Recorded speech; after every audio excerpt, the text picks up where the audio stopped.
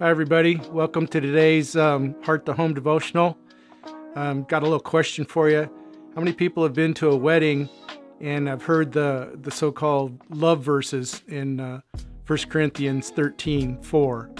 Um, you know, where they quote the to the bride and the groom, or the bride and the groom quote it to each other, or the pastor quotes it, or someone shares it.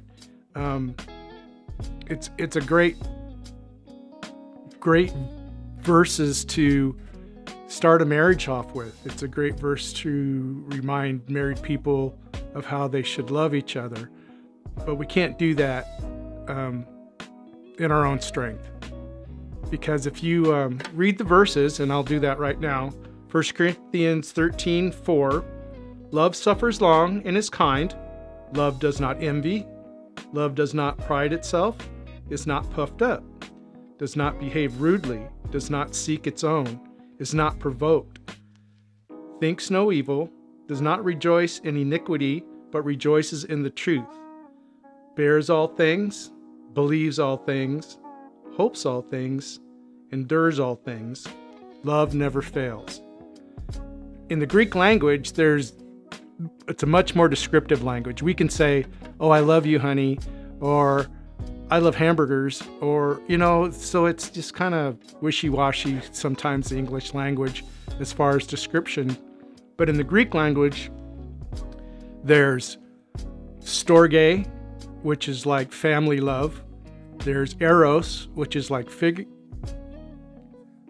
There's eros, excuse me. There's eros, which is physical love.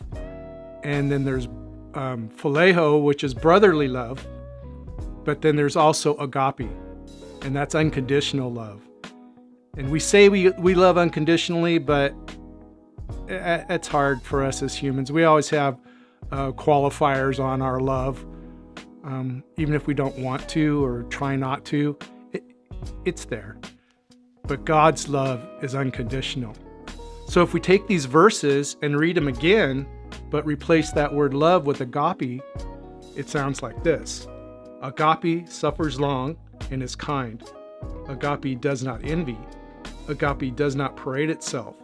It is not puffed up, does not behave rudely, does not seek its own, is not provoked, thinks no evil, does not rejoice in iniquity, but rejoices in truth, bears all things, believes all things, hopes all things, endures all things. Agape never fails.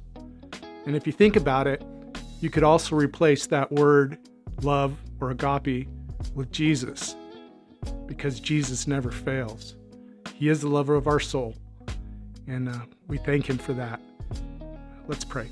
Heavenly Father, we come before you, Lord, and I just thank you for the opportunity to share with my brothers and sisters um, just a few thoughts in uh, your word. Pray that we take it to heart and we practice it in our lives to the best of our ability. Lord, we just look to you for guidance and direction in all things. In Jesus' name, amen.